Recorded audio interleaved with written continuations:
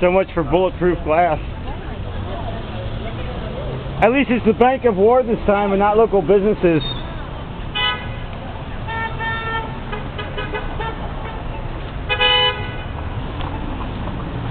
This is what happens to the banks that fund the wars.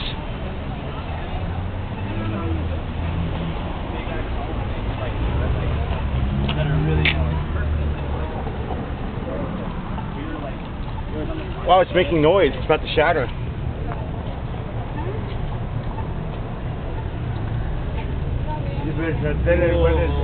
Sounds like it's all going to crash.